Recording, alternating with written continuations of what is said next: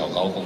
但是这个新发的一些新的变异株呢，它的传染性可能也是很高，但是变化不会很大，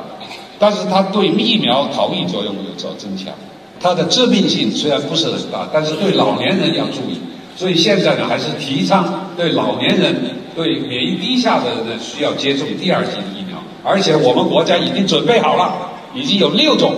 啊，各种都可以选择，到一月份。